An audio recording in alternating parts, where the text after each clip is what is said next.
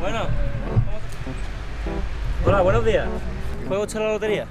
¿Qué? ¿Juega usted a la lotería? Pues no. ¿Juega usted a la lotería? No. La lotería es un engaño.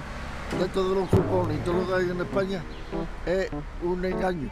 Claro que no merece la pena porque cuando vienes a, si te gastas mucho cuando vienes a cobrar 50 euros, Pero alguna vez ha puede tocar un pellizco gordo. Te ha costado 500. No, no me fío ni de ni de nada. No de fía. No es de fiar. Pues vea usted lo que yo hago, a mí me, to- me toca todos los años. ¿Te toca? Sí, porque no meto y lo meto en una hucha. Cuando llega fin de año, abro la hucha y tengo allí 200 o 300 euros. Me han tocado todos los años. Y si le preguntara yo entre la Lotería Nacional y el Euromillón, ¿cuál es más probable de ganar? ¿Usted qué me diría? Hombre, yo la lotería en Navidad siempre parece que es más fiable que el otro. No, que, que no, que no. Y si yo le pregunto, ¿qué es más probable, que le toque la lotería o que le pique una serpiente? ¿Usted qué cree?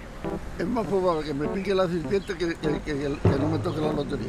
¿Qué es más probable, que le caiga un rayo o que le toque la lotería? Que me cae un rayo. Sí, ¿verdad? Sí.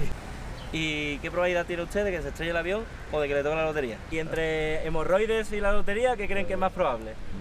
Yo no, Ah, yo ah. no he tenido nunca más. ¿No? Gracias a Dios, no. ¿Y lotería le ha tocado? tampoco. Pues es más probable que me estrelle también del avión y no me toque nada. Que no te toque nada, Que estás no me- ¿verdad? Seguro. Pues muchísimas gracias, ¿eh? No.